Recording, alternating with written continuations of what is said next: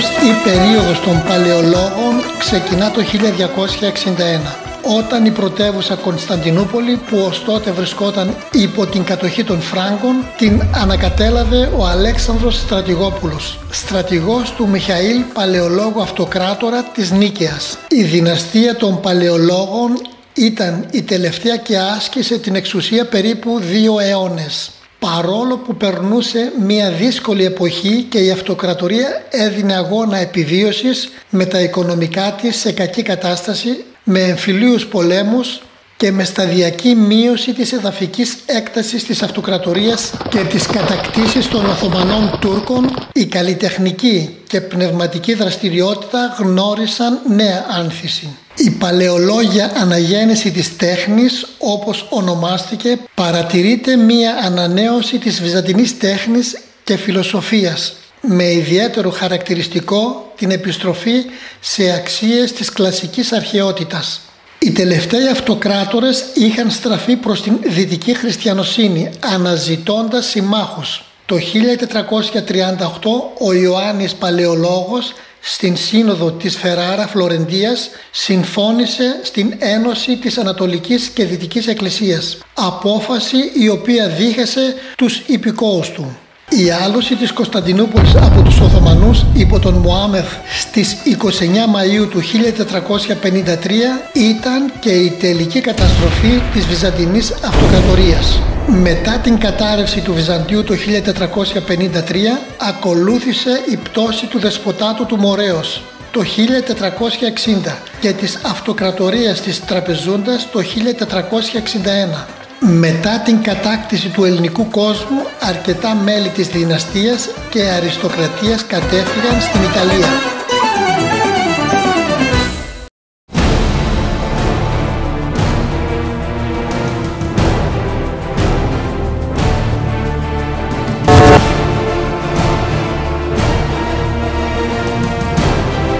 δυναστεία των Παλαιολόγων ήταν η τελευταία αυτοκρατορική οικογένεια της Βυζαντινής Αυτοκρατορίας. Γενάρχης της ήταν ο Μιχαήλ Γόγδος Παλαιολόγος, ο οποίος ανακηρύχθηκε αυτοκράτορας το 1261 όταν κατέλαβε την Κωνσταντινούπολη και κατέλησε την Λατινική Αυτοκρατορία, η οποία είχε ιδρυθεί μετά την Τέταρτη Σταυροφορία. Στις 25 Ιουλίου του 1261 μία μικρή ομάδα στρατιωτών υπό τον στρατηγό Αλέξιο Στρατηγόπουλο διείσδησε στην Κωνσταντινούπολη και την κατέλαβε ευνηδιαστικά από τους Φράγκους. Στις 15 Αυγούστου ο Μιχαήλ Παλαιολόγος κάνει επίσημη είσοδο στην πρωτεύουσα και στέφθηκε στην Αγία Σοφία ως νέος αυτοκράτορας του Βυζαντίου. Η πτώση του Λατινικού Βασιλείου της Κωνσταντινούπολης ήταν αναμενόμενη και μάλλον εκπλήσει το ότι καθυστέρησε τόσο. Τον Μάιο του 1267 ο Κάρλος Ντεανζού με την μεσολάβηση του Πάπα Κλίμεντα του τέταρτου έκλεισε συμφωνία του Βιτέρμο με τον Βαλδουίνο και συμφώνησαν την κατάλυση του κράτους του Μιχαήλ. Στα σχέδια αυτά προσχώρησαν ελληνικά, λατινικά και σλαβικά κράτη της Βαλκανικής. Η θέση του Μιχαήλ φαίνεται απελπιστική. Ήταν επιτακτική ανάγκη να δράσει διπλωματικά, ώστε να αντιμετωπίσει τους αντιπάλους του. Και εδώ φαίνεται η πολιτική του ικανότητα. Στις 6 Ιουλίου κλείστηκε συμφωνία για την Ένωση των Εκκλησιών. Για τους δυτικούς σήμαινε ότι ο Μιχαήλ ήταν πια καθολικός ηγέμονας και εναντίον του ήταν παράνομη πολεμική ενέργεια. Ο Σικελικός Εσπερινός το 1282, έτσι ονομάστηκε η επανάσταση αυτή, ήταν αποφασιστική σημασίας για το Βυζάντιο. Μετά την πρόσφατη κατάληψη της Κωνσταντινούπολης το 1261.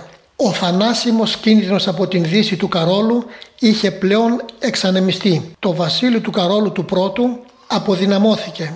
Μετά μάλιστα και τον θάνατό του το 1284. Ο Μιχαήλ με τις διπλωματικές του ικανότητες διέσωσε την αυτοκρατορία από την απειλή του Καρόλου του Ανδεγάβδου. Προσπάθησε να περισσώσει την εξάπλωση των Τούρκων στη Μικρά Ασία, αλλά δεν τα κατάφερε. Γεννήθηκε στη Νίκαια το 1224. Πέθανε στις 11 Δεκεμβρίου το 1282 σε ηλικία 58 ετών στη Ρεδεστό Θράκης.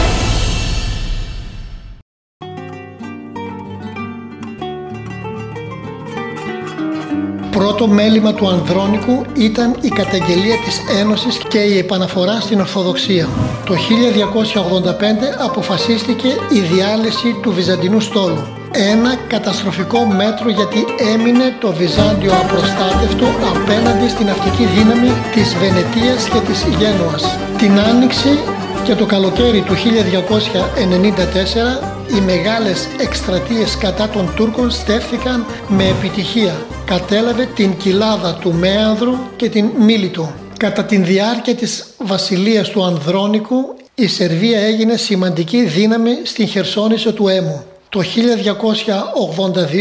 άρχισε η σερβική επέκταση στα εδάφη της Βυζαντινής Μακεδονίας. Έτσι το Βυζάντιο βρίσκεται κατά διαστήματα σε εμπόλεμη κατάσταση με τους Σέρβους. Στις 27 Ιουλίου του 1302 η ήττα των Βυζαντινών από τον πολυάριθμο στρατό του Τούρκου Οσμάν σε μάχη κοντά στην Νικομίδια αποτελεί σημαντικό σταθμό της απώλειας της Βόρειας Μικράς Ασίας. Από το 1302 έως το 1310 ο Ανδρώνικος ασχολήθηκε με μια ομάδα Καταλάνων μισθοφόρων που έφτασαν στο Βυζάντιο σαν φίλοι, αλλά πολύ σύντομα εξελίχθηκαν σε επικίνδυνοι εχθροί. Ουσιαστικά ήταν μια ομάδα τυχοδιοκτών, κυρίως Ισπανών μισθοφόρων, οι οποίοι υπό τις διαταγές του αρχηγού τους επιδίδονταν σε πειρατεία, ληστεία και επιδρομές λαιλασίας. Οι Καταλάνοι αφού ξεκίνησαν κάποιες σποραδικές επιτυχείς μάχης κατά των Οθωμανών στη Μικρά Ασία επέστρεψαν στις παλιές τους συνήθειες της πειρατείας και ληστείας Βυζαντινών πόλεων. Ο γιος του Ανδρώνικου συναυτοκράτορας Μιχαήλ έχασε την υπομονή του. Κάλεσε τον αρχηγό τους ιδιαιτέρως στην Ανδριανούπολη το 1305 και με τέχνασμα σχεδίασε την δολοφονία του. Μετά από αυτό το γεγονός οι Καταλάνοι επιδίδονται σε ανίποτες σφαγές και καταστροφές πρωτόγνωρης ομότητας και βίας. Από το 1321 έως το 1328 κυριαρχεί εμφύλιος πόλεμος μεταξύ Ανδρώνικου δεύτερου και του εγγονού του Ανδρώνικου Τρίτου. Η αδυναμία του Ανδρώνικου Δεύτερου να αναστρέψει την καταστροφική πορεία του κράτους τον κατέστησαν εξαιρετικά αντιδημοφιλή. Αποτέλεσμα του εμφυλίου στις 6 Απριλίου του 1326 οι Οθωμανοί καταλαμβάνουν την Προύσα και την κάνουν πρωτεύουσά τους. Ο Ανδρώνικος γεννήθηκε στις 25 Μαρτίου του 1259 στη Νίκαια Βυθινίας. Πέθανε στις 13 Φεβρουαρίου του 1332 στο Άγιο Όρος. Ήταν 72 ετών.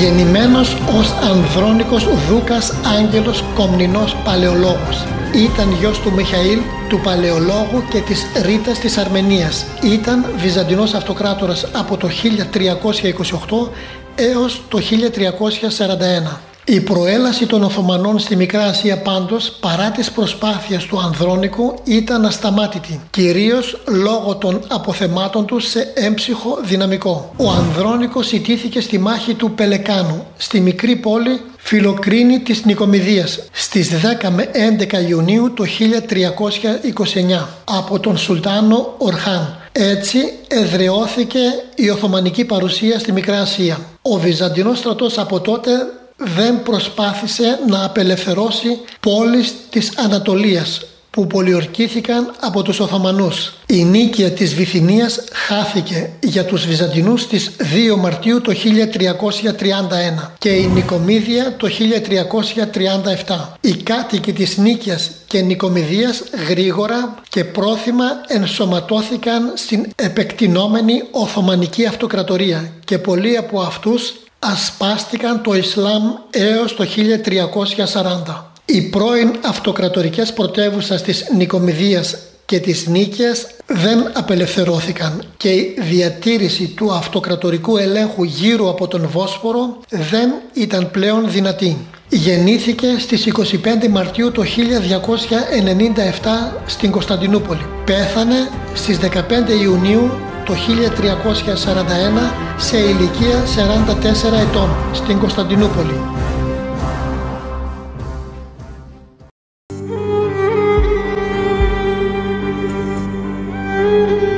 Η απρονοησία του Ανδρώνικου Τρίτου να ορίσει διάδοχο έφερε το κράτος σε ένα επικίνδυνο καθεστώς ακυβερνησίας. Ο ανήλικος γιος του Ιωάννης ο Πέμπτος δεν είχε στεφθεί συναυτοκράτορας και έτσι δημιουργήθηκε σοβαρό πολιτικό πρόβλημα το οποίο έσπευσαν να εκμεταλλευτούν διάφοροι παράγοντες της εξουσίας όπως η αυτοκράτηρα και χείρα του Ανδρώνικου Άννα της Σαβόης, ο φιλόδοξος πατριάρχης Ιωάννης Καλέκας και ο στρατηγός Αλέξιος Απόκαυκος.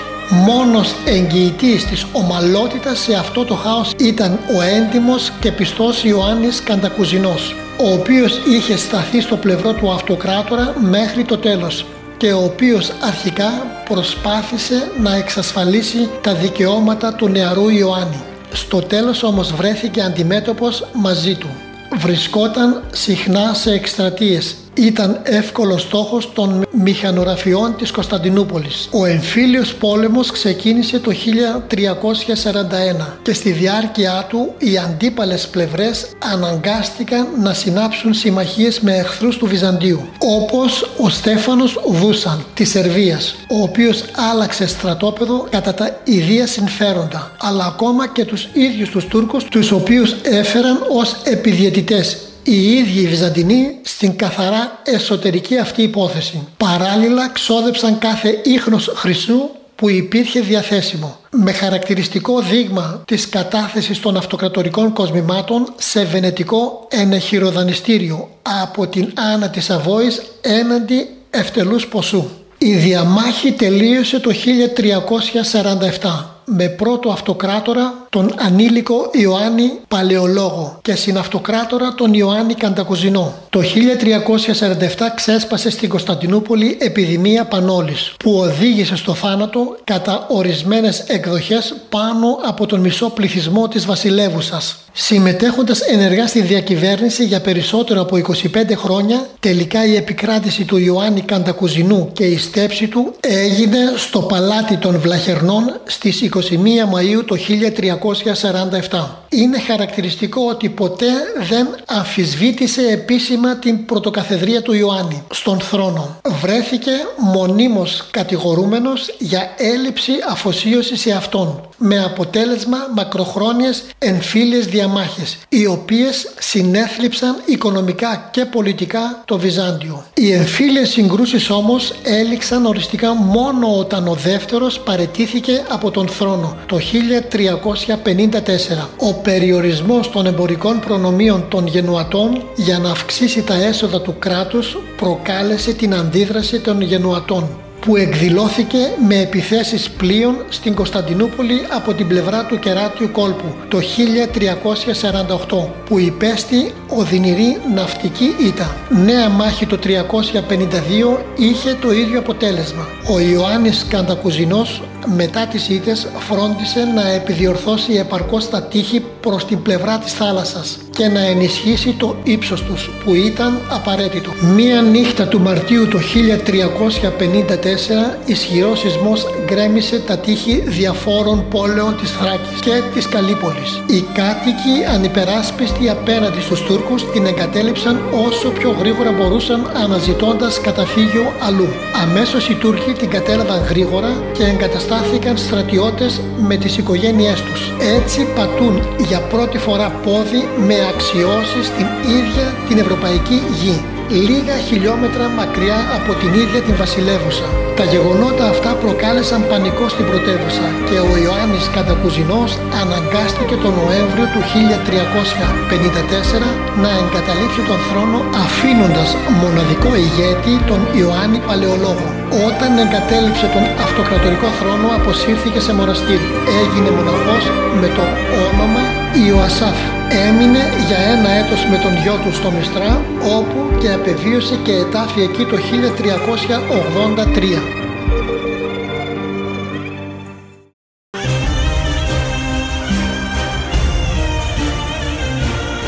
Μετά τον θάνατο του Ανδρώνικου Τρίτου άρχισε ο δεύτερος εμφύλιος πόλεμος από το 1341 έως το 1347 μεταξύ του Ιωάννη έκτου Καντακοζινού και του αντιβασιλιά μόλις 9 χρονών Ιωάννη πέμπτου γιο του Ανδρώνικου Τρίτου. Μετά τον θάνατο του Ανδρώνικου μέχρι το 347 δεν υπήρχε επίσημος εστεμένος αυτοκράτορας αφού ο Ανδρώνικος δεν είχε ορίσει διάδοχο.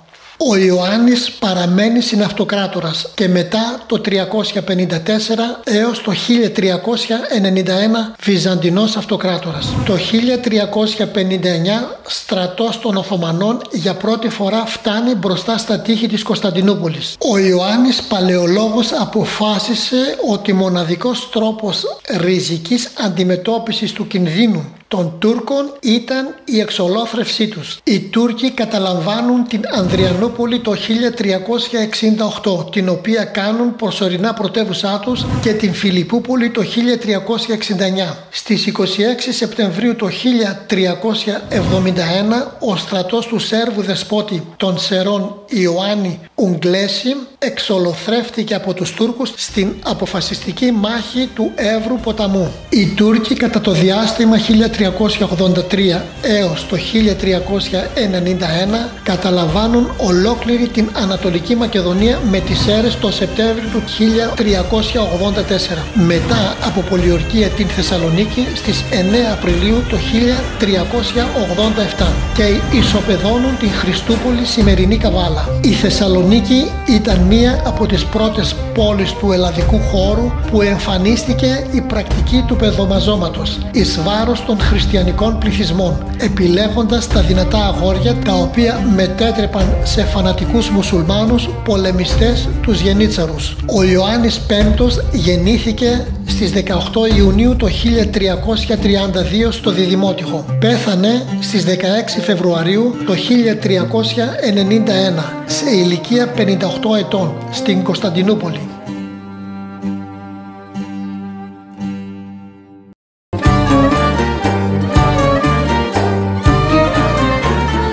Ο Ανδρώνικος ο τέταρτος παλαιολόγος ήταν πρωτότοκος γιος του Ιωάννη και της Ελένης Κατακουζινής ανυπομονούσε να ασκήσει την εξουσία, μιας και ο πατέρας του ήταν μόλις 16 χρόνια μεγαλύτερος του.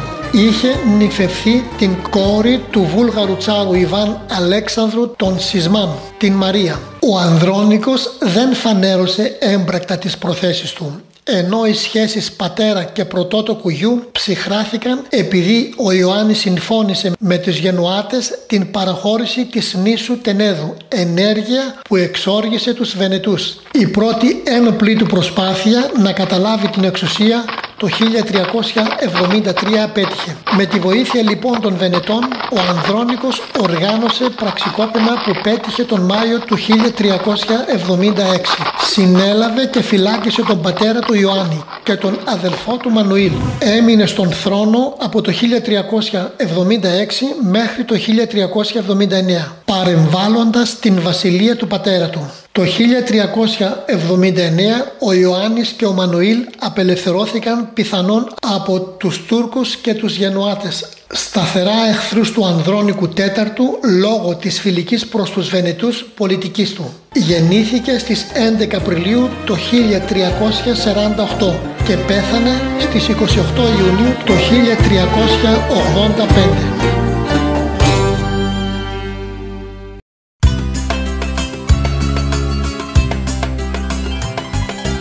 Ο Ιωάννης Παλαιολόγος υπήρξε πρωτότοκος γιος του αυτοκράτορα Ανδρώνικου IV και της συζύγου του Μαρίας κόρη του Βούλγαρου Τσάρου.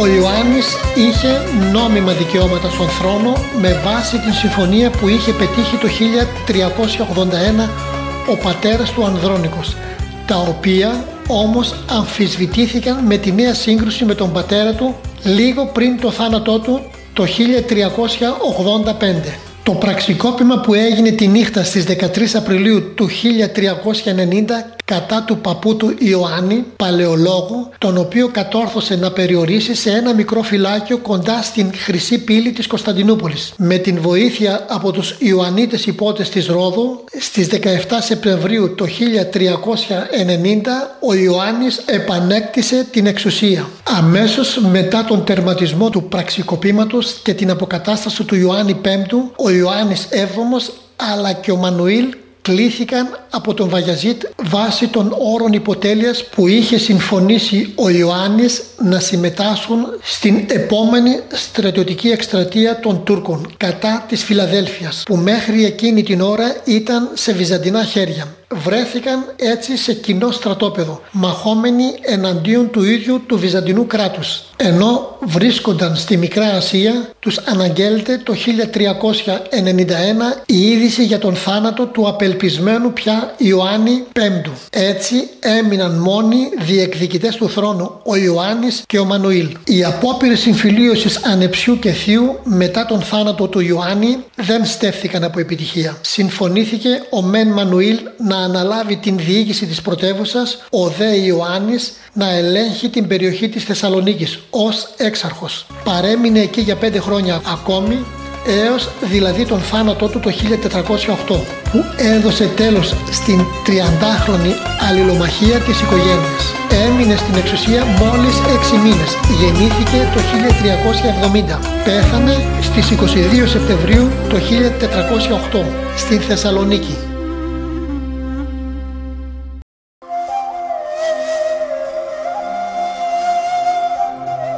Στα πρώτα χρόνια της βασιλείας του διατήρησε το καθεστώς της υποτέλειας που είχε εγγενιάσει ο πατέρας του. Έτσι κλήθηκε να υπηρετήσει στο πλευρό του Βαγιαζίτ σε στρατιωτικές επιχειρήσεις των Τούρκων όπως την πολιορκία της Φιλαδέλφειας το 1390, τελευταίο βυζαντινού προπύριο στην Δυτική Μικρά Ασία. Αργότερα όμως, μετά από κάποιες εκρήξεις αστάθειας του Σουλτάνου, αποφάσισε να διακόψει κάθε υπηρεσία στους Τούρκους. Εξάλλου ο Βαγιαζίτ πρώτος απάντησε με άμεση πολιορκία της πόλης το 1394 η οποία έμελε να κρατήσει για πολλά χρόνια. Ο Οθωμανικός στρατός του Βαγιαζίτ για πρώτη φορά άρχισε γύρω στο θέρος του 1394 αποκλεισμό της Κωνσταντινούπολης. Λαιλάτισε και έκαψε τα περίχωρα. Εγκαταστάθηκε περιμετρικά των χερσαίων τείχων της Κωνσταντινούπολης, εμποδίζοντας την διέλευση ανθρώπων και την διακίνηση ειδών πρώτης ανάγκης. Ο αποκλεισμός από στεριά διήρκησε έως το καλοκαίρι του 1402. Από το διάστημα αυτό έπαψε να είναι μεγάλη πόλη. Καταστράφηκε ολοκληρωτικά και ερημώθηκε από τις αδιάκοπες επιθέσεις των Τούρκων. Ο Βαγιαζίτ λύνει την πολιορκία για να αντιμετωπίσει την χρυσή ορδή του Ταμερλάνου στις 28 Ιουλίου το 1402. Η νίκη του Ταμερλάνου στην Άγκυρα και η κατάλυση του κράτους του Βαγιαζίτ ήταν γεγονός χαρμόσυνο για το Βυζάντιο και ολόκληρης της Ευρώπης. Ακολουθούν χρόνια εμφυλίων πολέμων μεταξύ των Οθωμανών έως την επικράτηση του Μουράτ Β ο οποίος αρνήθηκε κάθε σχέση με το Βυζάντιο και προχώρησε στην επίθεση.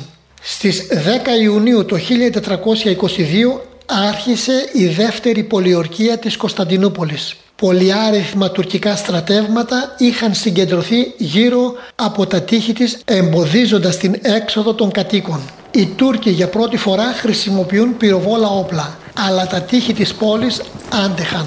Στις 24 Αυγούστου έγινε μεγάλη επίθεση. Οι Βυζαντινοί όμως απόθεσαν τους εχθρούς με επιτυχία. Ακολούθησαν μερικές ακόμα επιθέσεις μικρότερες και την πρώτη εβδομάδα του Σεπτέμβρη ο Μουράτ έλυσε την πολιορκία και έφυγε με τα στρατεύματά του.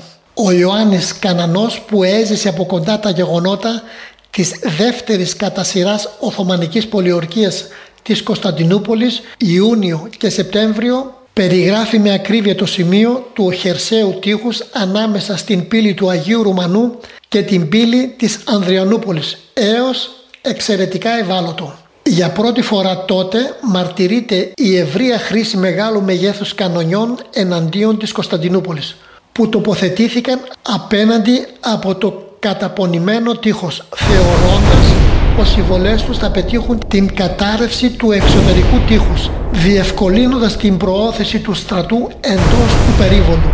Οι επιπτώσεις τους περιορίστηκαν κυρίως σε ψυχολογικό επίπεδο καθώς και μόνο η θέα των μεγάλων κανονιών προκαλούσε τον τρόμο και την πτώση του ηθικού των αμυνωμένων. Ο Κανάνος παραδίδει πως παρά τις 70 συνολικά βολές που πραγματοποίησαν τα Οθωμανικά κανόνια δεν προξένησαν σημαντική φθορά ακόμα και σε αυτό το σαφρό τμήμα του τείχους. Χρονικά από το σημείο αυτό και στο εξής οι Οθωμανοί χρησιμοποιούσαν ευρέως μεγάλα κανόνια και μικρότερου μεγέθους πυροβόλα όπλα σε μία σειρά πολεμικών επιχειρήσεων με άλλοτε επιτυχή και άλλοτε αρνητικά αποτελέσματα. Επιπλέον την ίδια περίοδο ενίσχυσαν τον στρατό τους με αρκετούς τεχνίτες κατασκευαστές πυροβόλων όπλων, κυρίως Ιταλούς, Γερμανούς και Ούγγρους, οι οποίοι και αναλάμβαναν συνήθως επιτόπους στην προσπάθεια της κάθε πολιορκίας ή μάχης να κατασκευάσουν τα ανάλογα πυροβόλα όπλα. Κατά κύριο λόγο μεγάλα κανόνια. Τέτοιου τύπου όπλα χρησιμοποιήθηκαν από τους Οθωμανούς το 1427 στο Νόβο Μπρότς στη Σερβία, το 1430 στην πολιορκία και άλωση της Θεσσαλονίκης και το 1440 στην πολιορκία του Βελιγραδίου. Η χρήση των μεγάλων κανονιών από τους Οθωμανούς και η εξέλιξη του νέου όπλου φάνηκε η αδυναμία της Κωνσταντινούπολης να αμυνθεί επί μακρό χρονικό διάστημα. Ο Μανουήλ ο δεύτερος παλαιολόγος γεννήθηκε στις 27 Ιουνίου το 1350 στην Κωνσταντινούπολη και πέθανε στις 21 Ιουλίου το 1425 σε ηλικία 75 ετών στην Κωνσταντινούπολη.